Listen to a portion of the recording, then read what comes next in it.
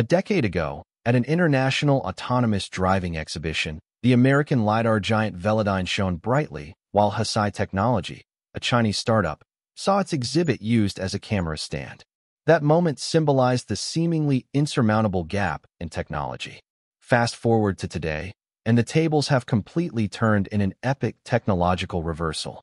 The protagonists are three Chinese innovators, Li Yifan, Sun Kai, and Xiang Shaoqing, all born after 1985, two from Tsinghua and one from Shanghai Jiaotong University.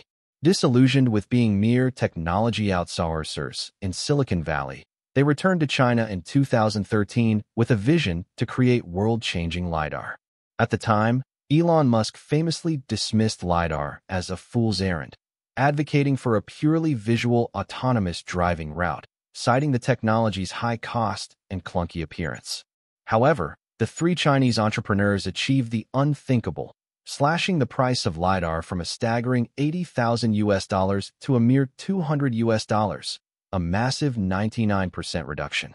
This price revolution made LiDAR accessible to ordinary cars, turning it from a luxury feature into a standard option on vehicles from BYD, Li Auto, Xiaomi, and Great Wall. Hesai's market share has since exploded, dominating the global LiDAR market for four consecutive years with a 33% share in 2024 and revenue exceeding 2 billion Chinese yuan. In 2025, Hesai became the first global dual-listed US and Hong Kong LiDAR company, with its market value surpassing 36 billion Hong Kong dollars on the first day.